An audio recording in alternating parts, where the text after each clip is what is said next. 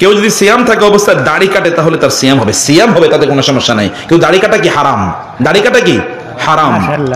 তার সিয়াম হয়ে যাবে। সিয়াম তো ইন্ডিভিজুয়াল এবাদা কিন্তু দাড়ি কাটা হারাম। দাড়ি কাটাও হারাম দাড়ি ছাটাও হারাম। অতএব এটা তিনি কবিরা গুণা করবেন। সেজন্য আল্লাহর কাছে তাকে ক্ষমা চাইতে হবে। তারাবি ও তাহাজ্জুদ কি আমার আচ্ছা তারাবি ও তাহাজ্জুদ কি আলাদা? যেহেতু কেয়ামুল লাইল যদি বলা হয় তাহলে কোনো আলাদা না। তাহলে একই জিনিস। খেয়াল রাখবেন পরিভাষা কিন্তু ভিন্ন। যদি এটাকে কেয়ামুল লাইল বলে তাহলে কি এটা একই জিনিস? রাতের সকল সালাদকে কি বলা হয়? কেয়ামুল লাইল বলা হয়। অতএব আন্ডার দিস ব্রড ডেফিনেশন এটা কেয়ামুল লাইল। আর যদি আপনি বলতে চান যে আমি এশার সালাতের পর আমি যেটা তাহাজ্জুদ যেটা আমরা তারাবি বলি এটা আমি পড়ব আর শেষের রাতে উঠে আমি পড়ব তাহলে আপনি যদি এটাকে তারাবি বলেন তাহলে কোনো আপত্তি নাই। ওটাকে যদি তাহাজ্জুদ বলেন তাহলে কোনো আপত্তি নাই। আর যদি কেউ মনে করে যে আমি শুধুমাত্র এই তারাবি পড়ব এটাই আমার তাহাজ্জুদ তাইলেও হয়ে যাবে কোনো সমস্যা নেই। কেউ যদি মনে করে আমি ওই সময় পড়ব তাহলেও পড়তে পারে হতে পারে কোনো সমস্যা নেই। কিন্তু টাইমিং যখন ডিফারেন্ট হয় তখন নামও কি? চেঞ্জ হয়ে যায়। আপনার জানেন একটা সলাতের নাম সলাতুল ইশকা আরেকটার নাম কি? সলাতুল দোহা। একটার নাম সলাতুল ইশরাক আরেকটার নাম কি? সলাতুল দোহা। নামাজ কিন্তু একটাই। ফজরের পর থেকে জোহর পর্যন্ত। কিন্তু আপনি যদি সকাল একে পর পর পড়েন, তাহলে বলা হয় আর যদি একটু সূর্য উপরের দিকে উঠলে পড়েন, তাহলে ওটার নাম কি? দোহা। Terminology is different but the issue is same অতএব বেদাত কেন, কি? বেদাত কেন ত্যাগ করতে হবে? বেদাত ত্যাগ না করলে ভাইরাসে সবকিছু শেষ করে দেবে। বুঝেন নাই? ভাইরাস চিনেন কিনা? কম্পিউটার কে চালান। সবাই চালান কিনা? যারা চালান না তাদেরকে অন্য উদাহরণ দেই। আচ্ছা আপনার কাছে ধরেন এক কোটি টাকা আছে সবগুলো জাল টাকা। সবগুলো কি টাকা? জাল টাকা। বাজারে গিয়ে কিছু কিনতে পারবেন নাকি? যদি কিছু কিনেন তাইলে ওইটা নিয়ে গেলে অবস্থা কি দাঁড়াবে বলেন তো? জাল টাকা নিয়ে গেছেন। মায়ের কি একটু বাইরে পড়বে নাকি? একটু বাইরে পড়বে না।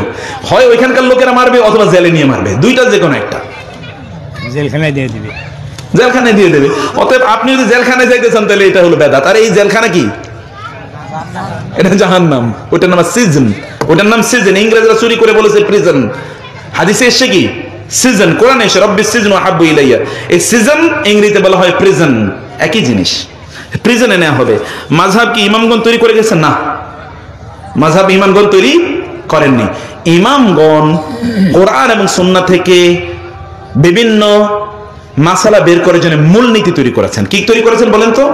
মূলনীতি, তারা ছিলেন গবেষক। মুজতাইদ তারা মাঝহাব তৈরি করেননি উনি তো জানেন না যে এরকম একটা মাঝহাব হবে। এরকম একটা মাঝহাব হবে উনি জানেন না। মাঝহাব তৈরি করেছেন পরবর্তী লোকেরা। আমরা তো পড়েছি, বই পড়েছি, প্যাঁচ কাকে বলে? মানে একটা সময় গিয়েছিল, কে কত জটিল করে লিখতে পারে। যারা মাদ্রাসায় পড়েছেন তারা জানেন। কুদুরি উসুল শাসী কুদুরি সরহে বেকায়া, হেদায়া। এরপরে ফতুল কাদির। আপনি এর এর মানে এই গ্রন্থের সরা। সরা মানে হলো ব্যাখ্যা গ্রন্থ। ব্যাখ্যা গ্রন্থ পড়তে গেছেন, সুল চুল আর উঠছে। সর্বশেষ মানে এত জটিল, যত ব্যাখ্যা তত জটিল। ব্যাখ্যা কি সহজ করে না জটিল করে? জটিল করে। না সহজ করে, বলেন তো? ব্যাখ্যা তো সহজ করে, ব্যাখ্যা মানুষ কেন করে? সহজ করার জন্য। কিন্তু এই ব্যাখ্যা ছিল জটিল। এই যোগ শেষ।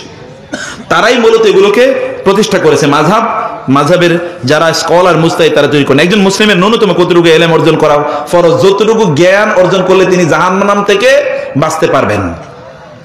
যতটুকু জ্ঞান অর্জন করলে তার জাহান্নাম থেকে বাঁচা যাবে।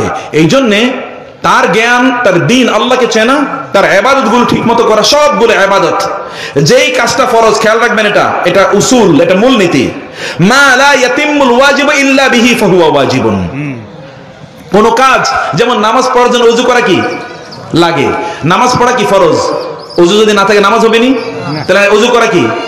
ফরজ। উজু করে, নামাজ পড়া যেরকম উজু করো এরকম অতএব যেই জ্ঞান না থাকলে আপনি এবাদত করতে পারবেন না।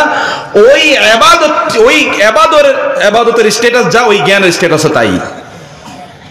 ওই ইবাদতের স্ট্যাটাস যা, জ্ঞানের স্ট্যাটাসও কি? তাই। সেজন্য আপনি অতটুকু জ্ঞান অর্জন করতে পারেন। আর যেই জ্ঞান অর্জন করা ফরজ, এটা হলো দিনই জ্ঞান। মনে রাখবেন।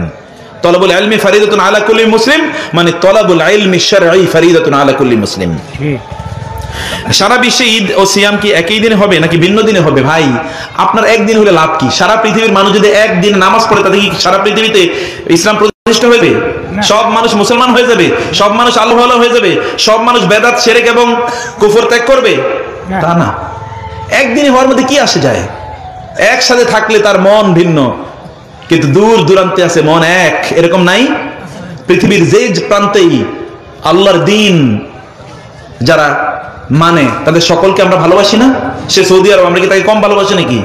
কিন্তু আপনার পাশেই একজন বসে আছে হতে পারে। কেউ তিনি তিন প্র্যাকটিস করেন, আপনি তাকে ভালোবাসেন না। এটা পাশাপাশি থাকার ইস্যু না। একদিনে দিন মানে ইয়ে করলেই সব একেবারে সব আপনার অমুক কিছু হয়ে যাবে, তমুক কিছু হয়ে যাবে, এগুলো নিয়ে ভাববেই না, এগুলো মাথা ছাড়ে- থেকে ফেলে দেন। রসুলামের যুগে কোনোদিন এটা বলেছেন তিনি, এই আমরা মদিনায় চাঁদ দেখেছি, গিয়ে দেখো তো মক্কায় চাঁদ দেখছি কিনা? এরকম কোন রেকর্ড আছে? না। খোলাফায়ের আশিদিনদের যুগে তখন তো মোমরের যুগে আরও বিস্তৃত পৃথিবী মানে মুসলিম বিশ্ব। কোনদিন খলিফারা বলেছেন যে আমরা মক্কায় বা মদিনায় মদিনা হচ্ছে ক্যাপিটাল রাজধানী। আমরা চাঁদ দেখেছি। দেখো তো সিরিয়া চাঁদ দেখেছি না কোনো রেকর্ড নিয়েছে। বরং সহি বর্ণন আছে আব্দুল আব্বাস রাদিয়াল্লাহু তাআলার কাছে একজন সিরিয়া এসে থেকে বললেন যে আমরা তো এখানে চাঁদ দেখেছি অলরেডি রোজা রাখা শুরু করে দিয়েছি। বলে তোমরা চাঁদ দেখো তোমরা রোজা রাখছো। আমরা চাঁদ দেখিও না রোজা রাখিও না। আমরা আজকে দেখেছি আমরা আজকে থেকে রোজা রাখি ঠিক ঠিক। অতএব এগুলো নিয়ে ফেতনা ছড়ানোর কোনো কারণ নাই। মেয়েরা কি বডি স্প্রে ব্যবহার করতে পারবে? বডি স্প্রে তিনি যদি তার বাসার জন্য ব্যবহার করেন তার বাসা একান্ত তাহলে তিনি ব্যবহার করতে পারবেন। কিন্তু আপনারা জানেন রসুলাম বলেছেন কোন একজন নারী তিনি যদি পারফিউম ব্যবহার করে ঘর থেকে বাইর হন তাহলে তিনি জেনাকারিনী হিসেবে আল্লাহর কাছে লিখিত হবেন। যতক্ষণ না সে ফিরে আসে। ফিরে এসে তাকে কি করতে হবে? গোসল করতে হবে। ওই জামা কাপড় ধুইতে হবে। এরপরে যদি তিনি বাইরে যেতে চান, তাহলে পারবেন। আদারওয়াইজ তিনি জেনাকারী হিসেবে আল্লাহর কাছে লিখিত হবেন। ঠিক।